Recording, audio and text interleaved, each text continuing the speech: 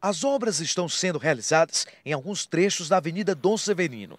Este aqui, por exemplo, ganhou um novo retorno.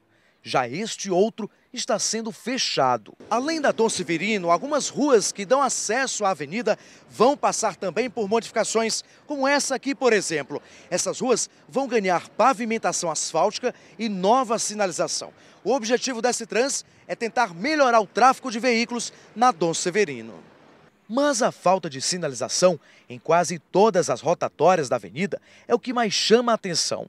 Os riscos de acidentes são constantes a maioria dos motoristas não respeita as regras e fazem manobras arriscadas. Quem passa todos os dias pela avenida afirma que o trânsito por aqui é cada vez mais complicado e perigoso. O pessoal só respeita a sinalização do chão, as placas ele não respeita. É muito difícil, todo dia tem acidente. A gente faz, anda certinho, mas os outros não andam, né? A gente tem que dirigir por nós e pelos outros. Difícil também para o pedestre. Atravessar a Dom Severino não é fácil.